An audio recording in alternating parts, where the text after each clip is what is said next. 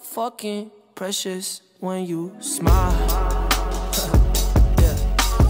Hit it from the back and drive you wild.